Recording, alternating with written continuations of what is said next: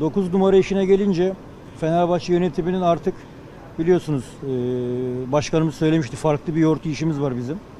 Biz hiçbir zaman e, haber yaptırmayız. El altından e, piyasaya haber de sızdırmayız. İmzalandığı zaman açıklarız. Yani bizim yoğurt işimiz böyle.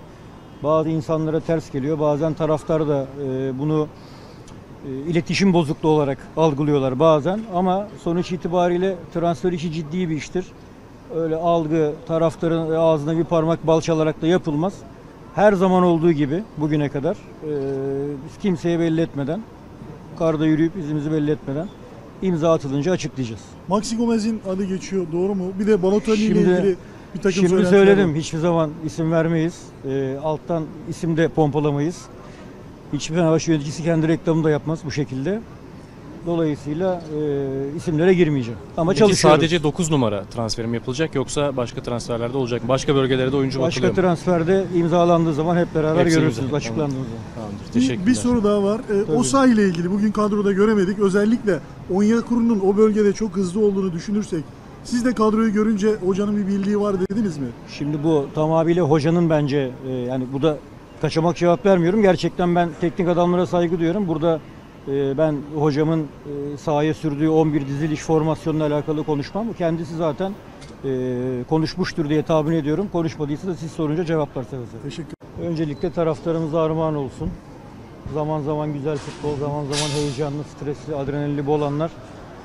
Ee, 3-0'dan sonra aslında çok daha rahat kazanmamız gereken bir maçtı. Bunu kabul etmek gerekiyor.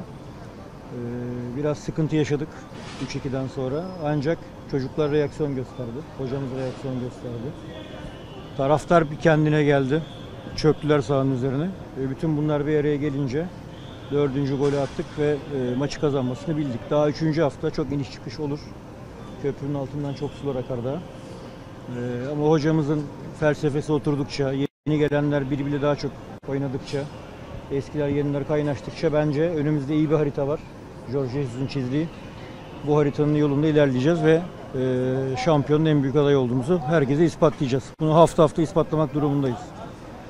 Bir iki bir şey söylemek istiyorum. Ee, Adana Demirspor camiası, Sayın Murat Sancak bizim gerçekten aramızın çok iyi olduğu bir camia. Çok iyi oldu. Birbirimize se- sevgili, saygılı davrandığımız bir başkan. Dolayısıyla eee ona da geçmiş olsun diyorum. Biz kazandık. Devre arasında birazcık Adana Demirspor'un teknik heyeti diyeyim, bazı personelleriyle ilgili birazcık bir usluplarını yadırgadık açıkçası. Çünkü ee, bu kadarına gerek yoktu. Biz de şimdi olayı da büyütüp onları da podyuma koymaya da gerek yok. Futbolda ara sıra tansiyon yükselince böyle şeyler oluyor. Ulu önderimiz Atatürk boşuna dememiş. Sporcunun zeki, çevik ve ahlaklısını severim diye. Ee, şimdi futbol dinamikleri çok bol bir spor. Futbolda yapılan bazı provokatif hareketlerin karşılığı sokakta oluyor, metrolarda oluyor, kahvelerde oluyor, tribünlerde oluyor. Çok dikkat etmek gerekiyor. Özellikle böyle bu seviyeleri gören futbolcuların, bu seviyeleri gören yöneticilerin hepimiz için söylüyorum bunu. Ama bugün Onyekuru gerçekten maçın belli bir noktasına itibaren maç devam ederken maç bittikten sonra kendi taraftarlarını selamlamaya giderken dahi ve sonra soyunma odasına girene kadar devamlı Fenerbahçe taraftarını tahrik etmeye çalıştı. Provokatif eylemler yaptı. Bu hareketleri de önce Adana Demirspor'un kendi camiasının e, takdirine bırakıyorum. Daha sonra futbol kamuoyunun takdirine bırakıyorum. Atatürk ne güzel söylemiş. Hala e, haklılığı ortaya çıkıyor böyle anlarda.